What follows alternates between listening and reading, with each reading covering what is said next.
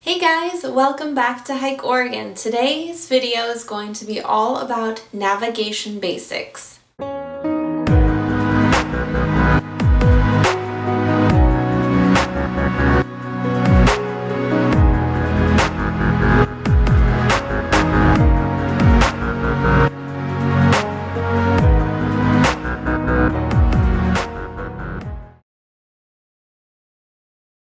Wanted to do a three-part series all about navigation because navigation is super important and I always hear about people getting lost out in the woods while snowshoeing, on the trails, even just going off the trail to go to the bathroom. I've heard of people getting lost. So having some navigation basics is super important. This first video is just going to be laying out the basics of navigation and some just simple things that you should know before going out on the trail. The second video will be about electronic navigation tools. That will include me showing some examples of GPS devices as well as some apps and some maps that you can get. And the third video, probably most exciting video, will be all about how to use a map and compass. And I'm going to have a special guest on that video to help explain the process better. While I know how to do triangulation and stuff like that, I don't feel like I would be very good at explaining it. So I'm bringing someone in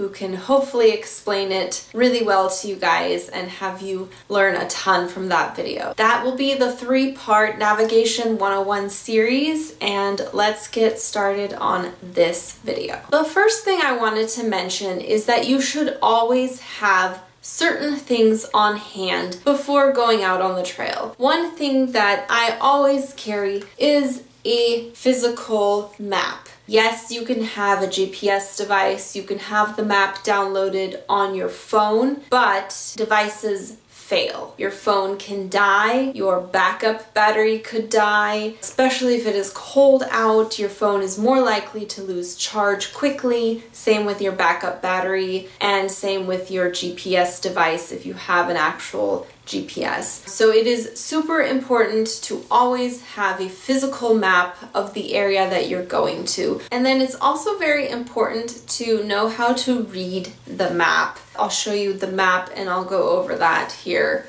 right now. So this is a super simplified map. I love these maps a lot because they are so simple and easy to use. They have everything labeled from peaks to rivers and all the trails are labeled with numbers. So it's really, really awesome. I highly suggest getting one of these maps, especially if you're new to navigation. So this is the Adventure Maps Inc. map. They have maps for all over Oregon, Washington, Utah, I think Colorado, and Wyoming. So the first thing you have to know about looking at a map is the direction here. So that'll show you north, south, east, west. And then you'll also want to take a look at the scale here. So it says here an inch is about half a mile. This is a really awesome map because it shows trails, but a lot of maps don't necessarily have trails on them, nor do they have this red number here. So you can see this red number here. That is how many miles it is from point to point. So there's a point and there's the other point. So from here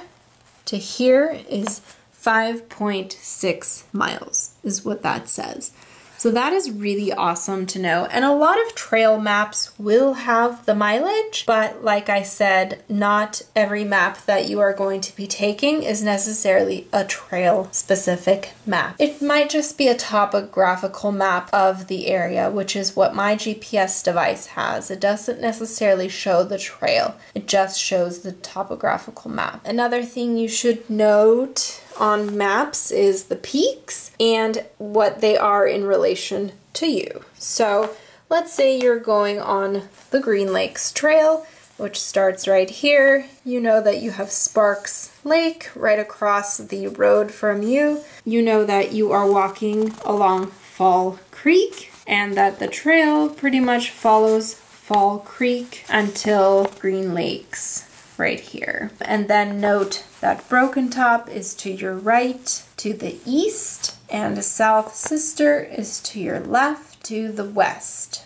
So that is always something super important to note is if there's any sort of peaks that you know what direction they should be in relation to you. The next thing I wanted to show that you should definitely know how to read is these elevation lines here. Different maps will have different spacing in between lines. Some will just show, you know, in between 100. Some will show in between 1,000 feet. Looks like this one shows every 500 feet. It'll show what elevation that is. You know that every line is 100 feet, basically. So that's 7,500 feet. That would be 7,600 feet, 7,700 feet, 7,800 feet, 7,900 feet, and 8,000 feet. That is very handy to know because if you are in a situation where you do have to climb up a peak, for example, if you were lost right here, I sh probably should have shown a different map because it's almost impossible to get lost here, but but this is really just an example. So let's say you are lost somewhere here and you're in the woods because this trail is completely in the woods and you were lost and you wanted to triangulate to see where you needed to go. So you have to go to a high point. Now you can see from this trail being in the woods that it goes steeply uphill, but you really have no idea how far uphill. So if you had a topographical map and you kind of knew you know, what vicinity you were in. You could see, oh, there, it looks like there's a butte here somewhere. Let's see the number of feet that we have to climb. So you would see that um, the trail is like right about here, which is the 6,000 foot line. Now, of course, if you're lost, you wouldn't necessarily know, oh, I'm exactly right here, but you could kind of pinpoint the area that you're in, hopefully. and then you would count the lines, because I'm sure if you're just using a topographical map, it's not not going to show like all of these numbers. So then you just count and you see that you have to climb up 800 feet and then you would be at the top. It's also important to note the different colors on the map. I know different maps have different coloring, but just knowing what it means. For example, this has completely different coloring than this map and you can tell how simplified this map is when you come and look at this map. this map does not have all of the roads numbered and that kind of thing like over here these dotted lines are roads they're not all numbered. You come over here same sort of lines and they're all numbered which is super handy, especially if you're getting lost going to the trailhead. and then you can tell here what the colors mean, which is awesome. So highway, secondary highway, improved road, high clearance road, which that's super awesome to see on a map. So I actually prefer maps like this because it will help me to know if I can even get to that trailhead with my car. Whereas this map is not going to show any of that. It's purely a trail map. This map, for example, is a National Geographic map. So it definitely has trails. It has the trail name, it has the trail number, it has the mileage, it also has the names of the peaks, names of the rivers and streams, and names of the lakes as well. And then last but not least, I wanted to show you a Forest Service map, which this one is going to be way more simplified here compared to the two other ones I just showed you. This is the sort of map that you would get from the Forest Service. Here is a trailhead, so it does show trailheads, and it does show the trail here this faint dotted line is the trail. Again, this is not going to show you mileage or anything like that. It does have the trail number on it, but it will not show you mileage or little waypoints or necessarily, you know, how far it is to the next trail split. So this is a much more simplified map and it is super important for you to be able to read any kind of map. But I do recommend that if you are starting out and you have no idea how to read maps or anything like that, to start out with a simplified version like this one. Just familiarize yourself with something like this. Go hiking on a trail that's on one of these maps and just look at it during your hike a few times and try and pinpoint where you are on the trail during your hike and just practice like that. And then you can move on to one of these maps. Again, this, this one is very similar to this, but a, there's a little more going on. And then if you want to move on to something like this. If you have any questions about maps, just let me know in the comments below. I probably won't be going over maps again. This was pretty much the map overview. If you have any specific questions about maps, just let me know and I can maybe do a fourth video in this series that's just all about maps. But I feel like I covered pretty much everything in this video here. It's also important, obviously, to take a compass so that when you know how to do triangulation and you have the map, you can actually utilize those two things to figure out where you are and where you need to go if you are in a situation where you find yourself lost. And then the most important thing for me is to just keep your eyes out for physical landmarks. That will just help you so much in knowing where you are on the trail and knowing how to get back to that area if you were to find yourself lost. If you are walking on the trail and you're just talking and you're completely oblivious to where you're going or your surroundings, you will have a really hard time trying to get back to that area if you didn't even look around and see what's around you. I know this can be really difficult in certain areas in Oregon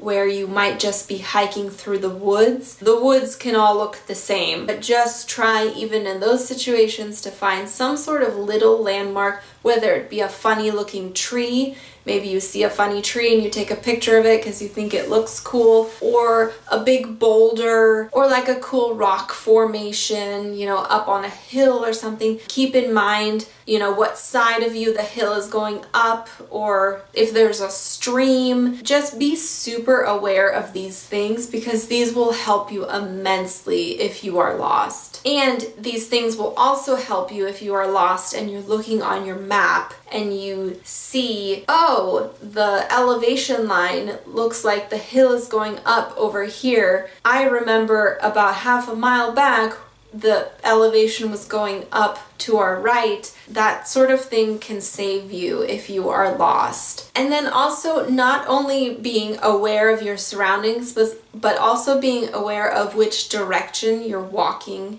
in, especially if you are in an area where it's just dense woods and you wouldn't necessarily be able to find something to triangulate with. Let's say you're just in the woods, there, you know, it's fairly flat, there isn't like a high point that you can then get to to have a view and be able to triangulate. It is super important to be aware of what direction the trail is going in.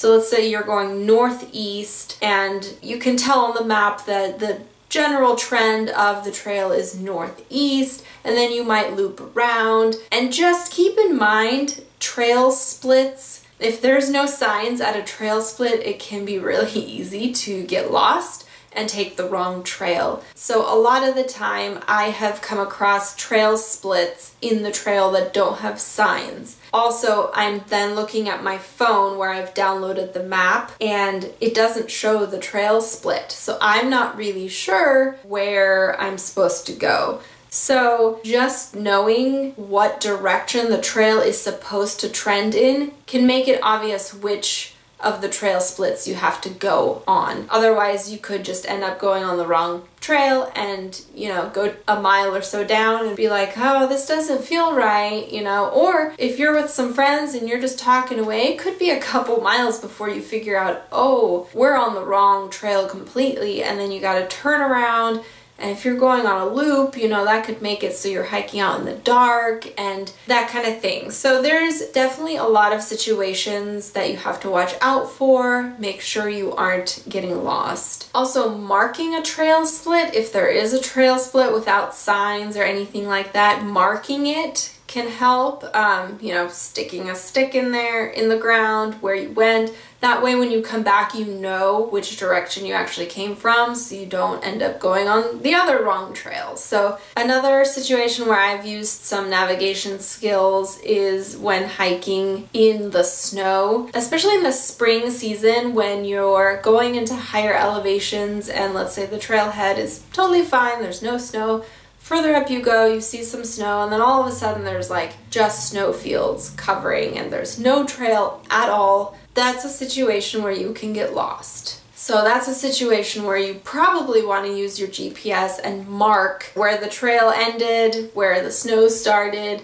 and where you've got to go back to. That is super important. Just set yourself a waypoint or start a GPS track on your phone. And then that way, you know, you can be ambling through the woods. You don't necessarily need a trail. You're walking on the snow. You're going to whatever viewpoint you're going to but that way you know where to come back to because you could just come back a completely different way and just miss where the trail starts completely and be in a completely different area. Either do that on your GPS, also you can mark, you know, where the snow ends and the trail restarts. We did this last year, uh, we marked where we kind of went off trail. We marked the area with like a big, we put a big stick in the ground and then we put a colorful plastic bag on top of the stick so that we could see, you know, I think it was a red plastic bag. We could see that red plastic bag from pretty far away because it kind of sticks out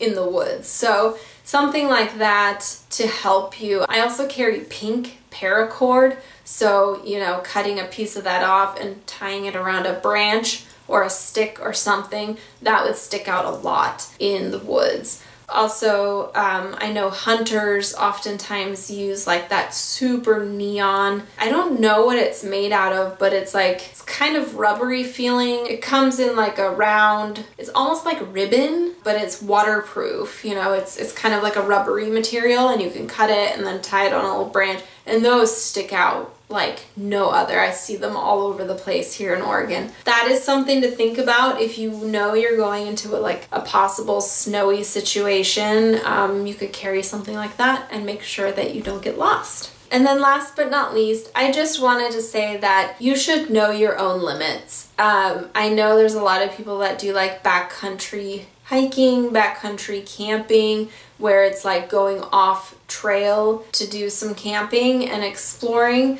I don't really recommend that, first of all, for leave no trace purposes, but also just know your own limits. If you are a little bit directionally challenged, you may not want to do something like that unless you're going with an experienced person. But also know that I used to be directionally challenged, and that is not a thing that you just have to live with you can learn and hone your skills. You know, if you practice being aware of your surroundings, practice looking on the map frequently, you can really hone your skills and then you can feel super confident in going out there and being able to be like, yes, the trail's heading southwest and, you know, there's a mountain right there. Yeah, I used to be really, really bad at that. Just even driving to a trailhead, I wouldn't know if we're going northeast or whatever. You know, now three years later, just practicing those skills, I feel very, very confident knowing all the names of the mountains, knowing what the mountains look like from every direction. I can pinpoint exactly what mountain that is. Those types of things are very, very, very important and can save your life if you are in a situation where you are lost. So just because you are directionally challenged does not mean that this is the end for you and you always have to go with a guide or an experienced outdoors person. You can learn skills and I hope this video series helps you in honing those skills. So let me know if you have any questions at all. Again, the next video will be all about GPS devices, GPS apps and those kinds of things that are available for you. And then the most important video will be the third one in the series and that will be triangulation and how exactly to use your map and compass. So stay tuned for all of that. Again, let me know if you have any questions. Thank you so much for watching and I'll catch you on the next adventure.